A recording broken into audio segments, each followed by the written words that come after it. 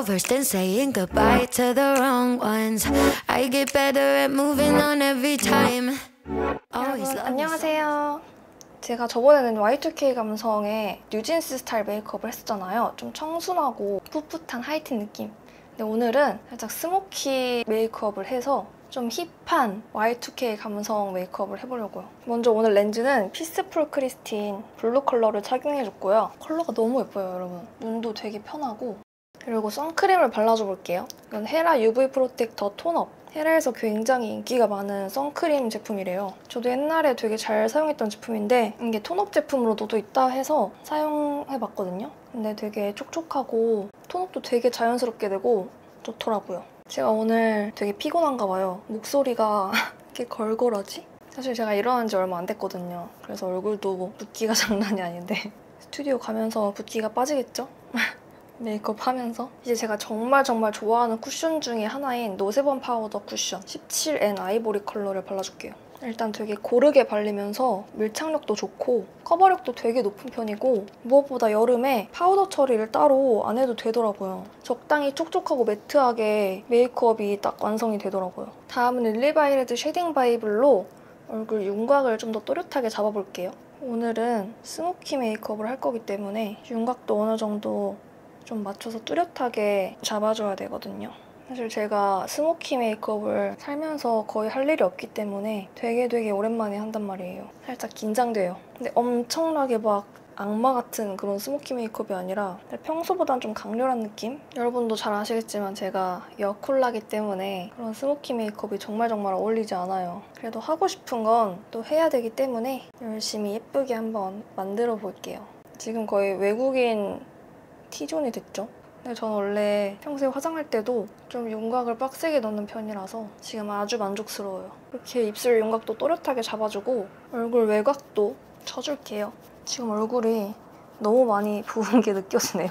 이제 페어리 드롭스 아이브로우로 눈썹을 그려볼게요. 이게 펜슬이 마름모 모양으로 돼 있어서 그리기도 되게 편하고 되게 빠르고 쉽게 그릴 수 있어요. 저는 오늘 애쉬 브라운 컬러를 사용하고 있어요. 이 아이브로우는 끝에 브러쉬가 없어서 피카소 7007 브러쉬로 따로 쓸어줄게요. 이제 다 그려줬으면 이 눈썹 모두 컬러를 입혀줄 건데요.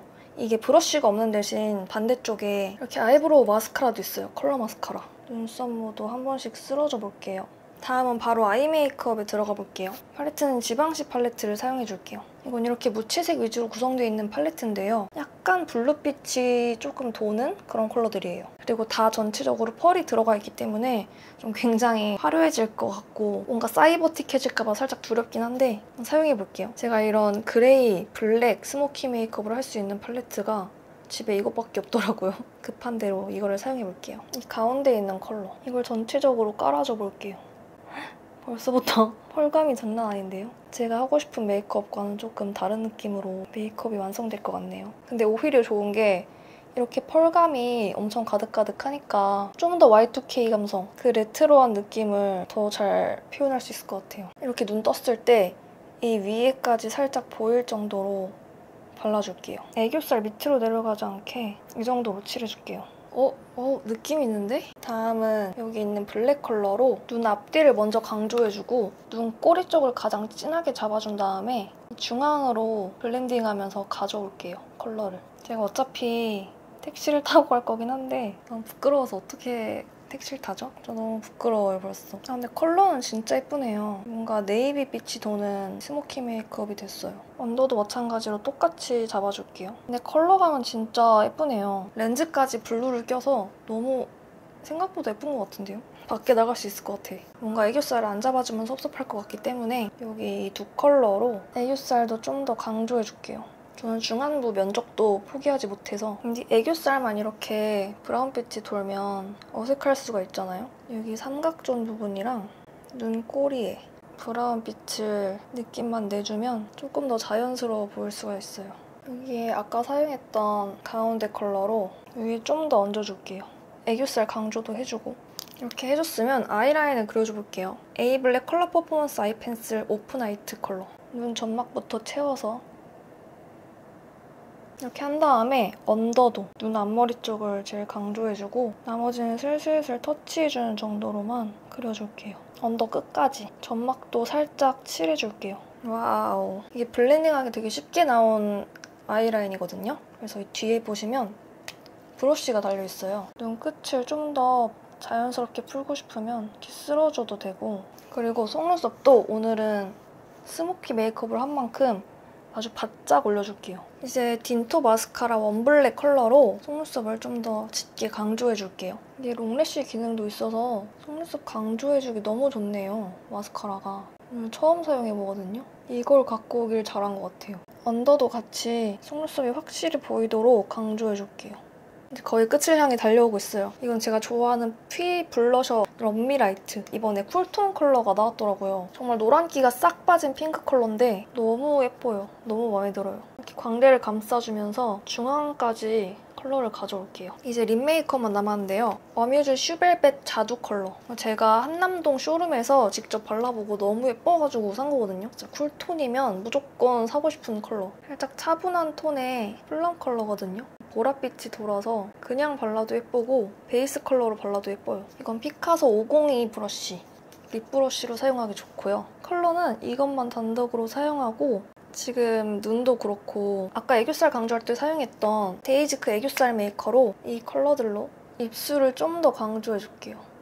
좀 더 도톰해 보이게 저같이 입술이 얇고 볼륨감이 떨어지는 입술에 이렇게 하면 좋아요. 이게 Y2K 감성을 좀 더 살려주기 위해 립의 글로시함을 좀 더 더해줘 볼게요. 디올 립 맥시마이저로 좀 더 볼륨감을 살려보고 글로시함을 더해줘 볼게요. 지금 눈도 되게 반짝반짝하고 화려하기 때문에 글로시 립이 더 예쁠 것 같아요. 이런 글로시 립이야말로 Y2K 감성의 포인트죠. 이렇게 하니까 뭔가 쉐딩이 좀 덜 얼굴 윤곽이 좀 더 진해져도 될 것 같아요. 지금 너무 강렬하기 때문에 과해 보이지 않을 것 같아요. 더해줘도. 이렇게 한 다음에 나중에 지우고 내추럴 메이크업을 해야 되거든요. 벌써부터 난감하네요.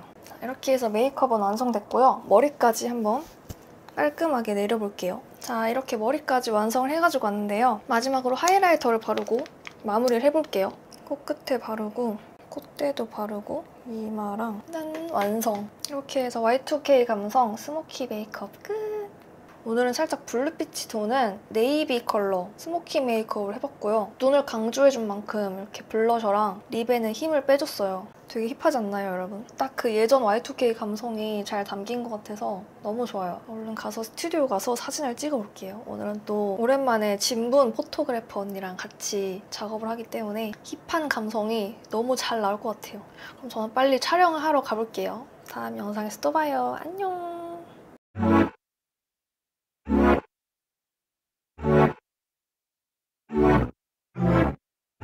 Versed in saying goodbye to the wrong ones. I get better at moving on every time. Always love me so much more after I'm long gone.